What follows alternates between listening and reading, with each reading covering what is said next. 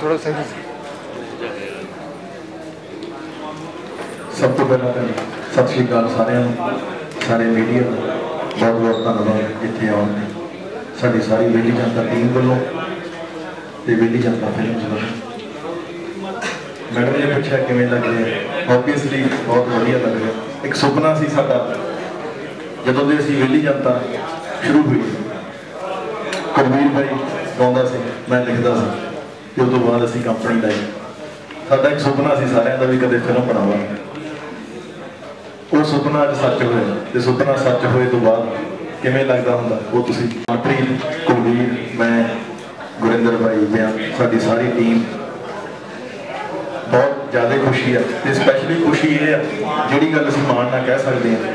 ਹੁਣ ਤੱਕ ਮੈਂ ਗੀਤਾਂ ਦੇ ਵਿੱਚ ਵੀ ਖਾਸ ਤੌਰ ਤੇ ਹਮੇਸ਼ਾ ਅਸੀਂ ਇਹ ਧਿਆਨ ਰੱਖਦੇ ਹਾਂ। ਵੀ ਗੀਤ ਪਰਿਵਾਰਕ ਹੋਣ ਤੇ ਪਰਿਵਾਰ ਵਿੱਚ ਬੈਠ ਕੇ ਸੁਣੇ ਜਾਣ ਵਾਲੇ ਹੋਣ ਤੇ ਫਿਲਮ ਦੇ ਬਾਰੇ ਵੀ ਮੈਂ ਇਹ ਗੱਲ ਮਾਣ ਨਾਲ ਕਹਿ ਸਕਦਾ ਕਿ ਫਿਲਮ ਇੱਕ ਪਰਿਵਾਰਕ ਫਿਲਮ ਆ ਤੇ ਪੁਰਾਣੇ ਪੰਜਾਬ ਦੀ ਇੱਕ ਤਸਵੀਰ ਨਵੇਂ ਤਰੀਕੇ ਨਾਲ ਪੇਸ਼ ਕੀਤੀ ਹੈ ਜਿਹੜੀਆਂ ਹੁਣ ਤੱਕ ਪੁਰਾਣੇ ਪੰਜਾਬ ਦੇ ਫਿਲਮਾਂ ਆਈਆਂ, ਬਹੁਤ ਸੋਹਣੀਆਂ ਬਣੀਆਂ ਹੋਈਆਂ ਸੀ।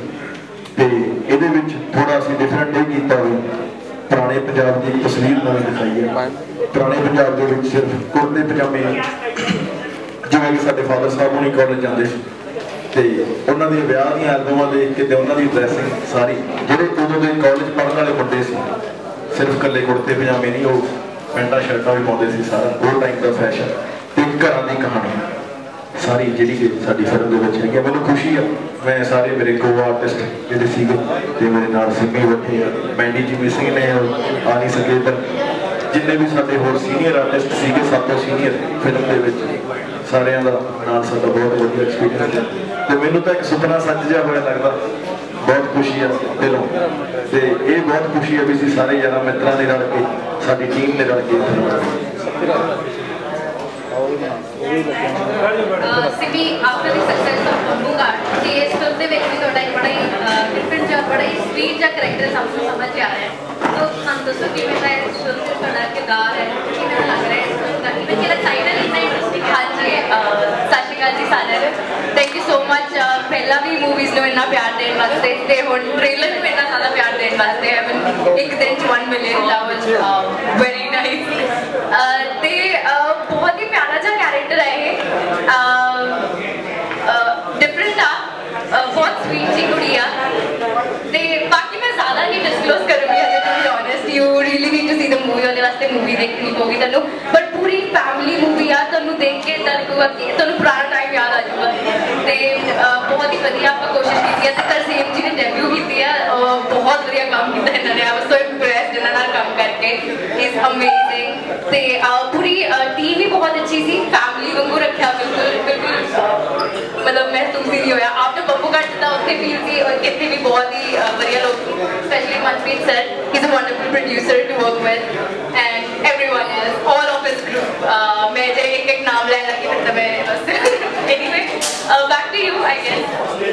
ਕੁਲਦੀਪ ਭਾਜੀ ਤੁਹਾਡਾ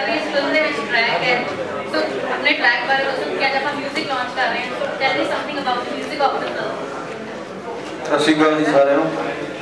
ਬਹੁਤ ਬਹੁਤ ਮੁਬਾਰਕਾਂ ਤਰਸੀਮ ਨੂੰ ਤੇ ਸਾਰੀ ਟੀਮ ਜਿਹੜੀ ਕਾਸਟ ਸਟਾਰ ਕਾਸਟ ਹੈਗੀ ਹੈ। ਤੇ ਜਿਹੜਾ ਗੀਤ ਮੈਂ ਗਾਇਆ ਜੀ ਮਤਲਬ ਜਿਹੜੀ ਉਹਦੇ ਲਿਰਿਕਸ ਆ, ਉਹ ਪੁਰਾਣੇ ਜਿਹੜੇ ਚੱਲੇ ਆਉਂਦੇ ਸੀਗੇ ਲਿਰਿਕਸ ਹੈ ਉਹਦੇ 'ਚ ਥੋੜਾ ਜਿਹਾ ਤਰਸੀਮ ਨੇ ਚੇਂਜ ਕੀਤਾ।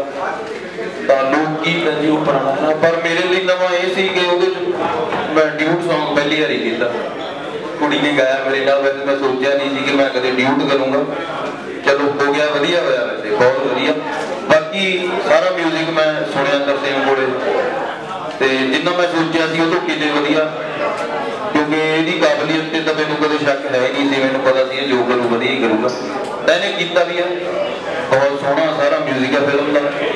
ਤੇ ਫਿਲਮ ਤਾਂ ਚਲੋ ਵਧੀਆ ਹੀ ਸਟੋਰੀ ਜਦੋਂ ਇਹਨੇ ਮੇਰੇ ਨਾਲ ਸ਼ੇਅਰ ਕੀਤੀ ਸੀ ਨਾ ਮੈਨੂੰ ਉਦੋਂ ਵੀ ਲੱਗਿਆ ਸੀ ਵੀ ਵਧੀਆ ਬਣੂਗੀ ਇਹ, ਕਿਉਂਕਿ ਪਰਿਵਾਰਕ ਸੀ। ਇਹਦੇ ਤੋਂ ਸਾਡੀ ਵੇਲੀ ਜਨਤਾ, ਜਿੰਨੀ ਵੀ ਟੀਮ ਹੈ, ਉਹਨਾਂ ਸਾਰਿਆਂ ਤੋਂ ਜਿੰਨੇ ਫੈਨਸ ਉਹਨਾਂ ਨੂੰ ਇਹੀ ਉਮੀਦ ਸੀਗੀ ਕੋਈ ਪਰਿਵਾਰਕ ਗੱਲ, ਕੋਈ ਜਾਂ ਜ਼ਿੰਦਗੀ ਨਾਲ ਜੁੜਿਆ ਹੋਇਆ ਕੁਝ ਬਣਾਉਣ, ਕਿਉਂਕਿ ਹਾਸਾ ਖੇਡਾ ਬਹੁਤ ਚੱਲ ਰਿਹਾ। ਤੇ ਉਹਦੇ ਕਰਕੇ ਮੈਨੂੰ ਇਹ ਸੀ ਵੀ ਮਿਊਜ਼ਿਕ ਕਿਵੇਂ ਦਾ ਹੋਊਗਾ। ਤਾਂ ਜਦੋਂ ਮੈਂ ਸੁਣਿਆ, ਸੱਚੀ ਬਹੁਤ ਜ਼ਿਆਦਾ ਮੈਨੂੰ ਵਧੀਆ ਲੱਗਿਆ ਮਿਊਜ਼ਿਕ ਤੇ ਮੈਨੂੰ ਪੂਰੀ, ਮੈਂ ਸ਼ੋਰ ਆ ਕਿ ਉਹ ਪਸੰਦ ਆਊਗਾ ਸਭ ਨੂੰ। ਬਾਕੀ ਚਲੋ ਪਰਮਾਤਮਾ ਹੱਥ ਹੈ, ਅਸੀਂ ਨਾ ਹਰ ਟਾਈਮ ਇਹੀ ਦੁਆ ਕਰਦੇ ਹਾਂ ਕਿ ਇਹਦੀ ਤਰੱਕੀ ਹੋਵੇ। ਤੇ ਸਾਰੀ ਟੀਮ ਦੀ ਜਿਨ੍ਹਾਂ ਨੇ ਕੰਮ ਕੀਤਾ ਉਹਨਾਂ ਨੂੰ ਫਲ ਮਿਲੇ। ਥੈਂਕ ਯੂ ਸਾਡੇ ਨਾਲ ਮੀਡੀਆ ਕੀ ਹੈ। ਮੈਂ ਗੁਜ਼ਾਰਿਸ਼ ਕਰਾਂਗੀ ਮੀਡੀਆ ਨਾਲ ਜੋ ਵੀ ਸਵਾਲ ਕਰਨਾ ਚਾਹੁੰਦੇ ਨੇ ਕਿ ਸਾਰੀ ਟੀਮ ਇੱਥੇ ਪੁੱਛ ਸਕਦੀ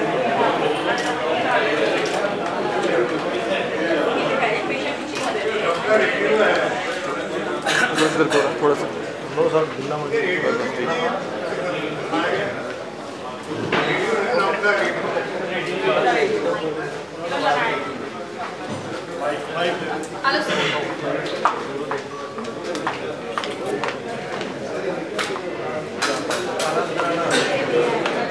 ਇਹ ਜਿਹੜਾ ਕਹਿੰਦੇ ਨਾ ਰੱਬ ਦਾ ਰੇਡੀਓ।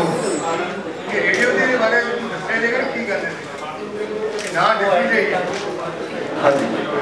ਰੱਬ ਦਾ ਰੇਡੀਓ ਅਸਲ ਦੇ ਵਿੱਚ ਟ੍ਰੇਲਰ ਦੇ ਅੰਤ ਡਾਇਲੌਗ ਨਹੀਂ ਆਉਂਦਾ ਇਹ ਇਸੇ ਤੇ ਆਧਾਰਿਤ ਫਿਲਮ ਕਹਿ ਸਕਦੇ ਹਾਂ। ਕਿਉਂਕਿ ਮੈਨੂੰ ਵੀ ਇਹ ਸੀ ਵੀ ਜਦੋਂ ਕੋਈ ਫਿਲਮ ਕਰਾਂ ਤਾਂ ਉਹਦਾ ਕੋਈ ਕਨਸੈਪਟ ਜਾਂ ਹੋਰ ਉਹਦਾ ਬੇਸ ਸੋਲਿਡ ਹੋਵੇ। ਇਹ ਇਸ ਚੀਜ਼ ਤੇ ਆਧਾਰਿਤ ਆ ਜਿਹੜਾ ਰੱਬ ਦਾ ਰੇਡੀਓ ਆ, ਵੀ ਜਿਹੜਾ ਆਪਣਾ ਦਿਲ ਆ, ਇਹ ਰੱਬ ਦਾ ਰੇਡੀਓ ਦੇਖਦੇ ਗਲਤ ਸਟੇਸ਼ਨ ਤੇ ਹਾਂ ਇਹਨੂੰ ਕਹਿਣ ਦੀ ਕੋਸ਼ਿਸ਼ ਕੀਤੀ ਹੈ ਵੀ ਜਦੋਂ ਕਦੇ ਵੀ ਚਾਹੇ ਮੈਂ ਆ, ਚਾਹੇ ਕੋਈ ਵੀ ਇੱਕ ਹਿਊਮਨ ਬੀਇੰਗ ਆ, ਆਪਾਂ ਕੋਈ ਕੰਮ ਕਰਨ ਜਾਂਦੇ ਆ ਸੈਲਫਿਸ਼ ਹੋ ਕੇ ਕਿਤੇ ਵੀ। ਤਾਂ ਆਪਾਂ ਨੂੰ ਇੱਕ ਵਾਰ ਅੰਦਰੋਂ ਆਵਾਜ਼ ਜ਼ਰੂਰ ਆਉਂਦੀ ਆ ਵੀ ਯਾਰ ਤੂੰ ਕਿਤੇ ਗਲਤ ਤਾਂ ਨਹੀਂ ਕਰ ਨਾਲ ਇਹ ਕਰ ਦਿੰਦੇ ਆ, ਯਾਰ ਦੁਨੀਆ ਕਰਦੀ ਆ, ਜਾਂ ਇਹਦੇ ਵਿੱਚ ਕੀ ਆ, ਮੈਂ ਕਿਸੇ ਦਾ ਮਾੜਾ ਤਾਂ ਨਹੀਂ ਕਰ ਰਿਹਾ, ਮੇਰੇ ਕੋਲ ਚਾਰ ਪੈਸੇ ਆ ਜਾਣਗੇ, ਜਾਂ ਕੁਝ ਵੀ। ਜਿਹੜੀ ਇੱਕ ਵਾਰ ਆਉਂਦੀ ਆਵਾਜ਼ ਆ ਨਾ ਤੁਹਾਡੇ ਜ਼ਮੀਰ ਦੇ ਅੰਦਰੋਂ, ਜਾਂ ਤੁਹਾਡੇ ਦਿਲ ਦੇ ਅੰਦਰੋਂ ਜਿਹੜੀ ਆਵਾਜ਼ ਆਉਂਦੀ ਆ, ਵੀ ਨਹੀਂ ਯਾਰ, ਇਹ ਕੰਮ ਸ਼ਾਇਦ ਤੂੰ ਕਿਤੇ ਗਲਤ ਕਰ ਰਿਹਾ। ਉਸੇ ਨੂੰ ਉਹ ਚੀਜ਼ ਨੂੰ ਕਿਹਾ ਉਹ ਤੇਰੇ ਰੱਬ ਦਾ ਰੇਡੀਓ ਹੈ ਤੇਰੇ ਰੱਬ ਦੀ ਆਵਾਜ਼ ਜਿਹੜੀ ਕਿ ਤੈਨੂੰ ਕਿਤੇ ਬਾਹਰ ਲੱਭਣ ਜਾਣ ਦੀ ਲੋੜ ਨਹੀਂ, ਉਹ ਤੇਰੇ ਅੰਦਰ ਆ। ਉਹ ਤੈਨੂੰ ਕਿਸੇ ਹੋਰ ਨੇ ਨਹੀਂ ਦੱਸਣੀ, ਉਹ ਤੇਰੇ ਅੰਦਰ ਆਉਣੀ ਆ। ਤੇ ਜਿਹੜੀ ਆਉਣੀ ਆ, ਉਹ ਸੁਣਨੀ ਨਾ ਸੁਣਨੀ, ਉਹ ਤੇਰੀ ਮਰਜ਼ੀ ਇਹਦੇ ਤੇ ਆਧਾਰਿਤ ਆ ਜੀ ਰੱਬ ਦਾ ਫੈਮਿਲੀ ਕਾਮੇਡੀ ਡਰਾਮਾ ਹੈ। ਬੇਸਿਕਲੀ ਇਹ ਕੋਈ ਕਾਮੇਡੀ ਮੂਵੀ ਨਹੀਂ ਹੈ ਇਹਦੇ ਵਿੱਚ ਸਿਚੁਏਸ਼ਨਲ ਕਾਮੇਡੀ ਹੈ। ਨਾਲ ਜਾਂ ਕੋਈ ਵੀ ਪੰਚ ਜਾਂ ਹੋਰ ਇਦਾਂ ਦਾ ਕੁਝ ਨਹੀਂ। ਬੇਸਿਕਲੀ ਇਹ ਇੱਕ ਫੈਮਿਲੀ ਮੂਵੀ ਹੈ। ਇੱਕ ਪਰਿਵਾਰਾਂ ਦੀ ਕਹਾਣੀ ਹੈ। ਪਰਿਵਾਰਾਂ ਦੀ ਕਹਾਣੀ ਦੇ ਵਿੱਚ ਜਿਵੇਂ ਪਰਿਵਾਰਾਂ ਦੇ ਵਿੱਚ ਹਾਸਾ ਠੱਠਾ ਹੁੰਦਾ ਉਹਨਾਂ ਕੁ ਹੈਗਾ। ਬਟ ਧੱਕੇ ਨਾਲ ਪਾਇਆ ਸਾਡੇ ਵਿੱਚ ਕੁਝ ਨਹੀਂ। ਸਿਰਫ ਇੱਕ ਸਟੋਰੀ ਹੈ ਇੱਕ ਬੇਸ ਆ ਜਿਹਦੇ ਤੇ ਅਸੀਂ ਕੰਮ ਕੀਤਾ ਤੇ ਜਿਹਨੂੰ ਅਸੀਂ ਕਰੀਏ।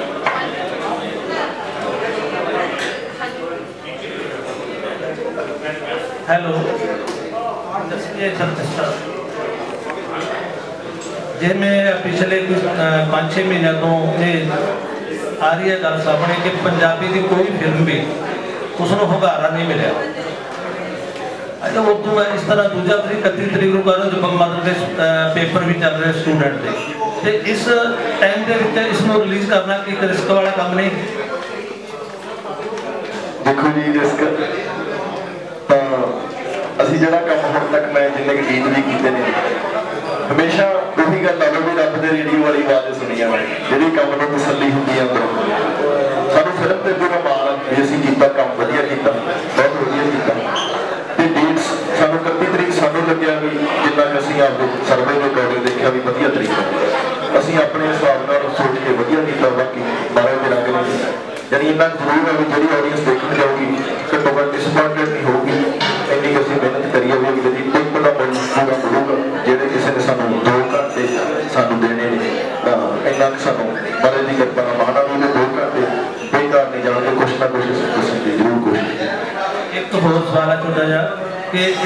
ਇਸ ਟਾਈਮ ਤੇ ਉੱਤੇ ਪੰਜਾਬੀ ਫਿਲਮ ਇੰਡਸਟਰੀ ਦੀਆਂ ਕਮ ਸੌ 100 ਤੋਂ ਵੱਧ ਫਿਲਮਾਂ ਡੱਬੇ 'ਚ ਬੰਦ ਪਈਆਂ ਨੇ। ਤੁਸੀਂ ਕੀ ਰੀਜ਼ਨ ਸਮਝੋ ਕਿਉਂ ਨਹੀਂ ਇਹ ਅਜਿਹਾ ਮਤਲਬ ਵਾਪਰ ਰਿਹਾ? ਕਿ, ਉਹਦੇ ਪਿੱਛੇ ਕੀ ਕਾਰਨ ਮੈਂ ਇਸ ਦੀ ਆਪਣੇ ਆਪ ਨੂੰ ਬਹੁਤ ਨਵਾਂ ਸਮਝਦਾ ਜੀ ਮੈਂ ਜਿਹੜੀਆਂ ਬੰਦ ਪਈਆਂ ਉਹਨਾਂ ਬਾਰੇ ਕੁਝ ਨਹੀਂ ਕਹਿ ਸਕਦਾ ਜੀ ਕਿਉਂਕਿ ਸਾਡੀ ਤਾਂ ਆਪ ਹਜੇ ਰਿਲੀਜ਼ ਨਹੀਂ ਹੋਈ। ਰਿਲੀਜ਼ ਕਰਾਂਗੇ ਉਸ ਤੋਂ ਬਾਅਦ ਹਜੇ ਹੁਣ ਤੱਕ ਬਹੁਤ ਐਕਸਪੀਰੀਅੰਸ ਹੋਇਆ ਮਹਾਰਾਜ ਕਰੇ ਅੱਗੇ ਹੋਰ ਐਕਸਪੀਰੀਅੰਸ ਹੋਵੇ ਉਹਨਾਂ ਬਾਰੇ ਹਜੇ ਕੁਝ ਨਹੀਂ ਮੈਂ ਕਹਿ ਸਕਦਾ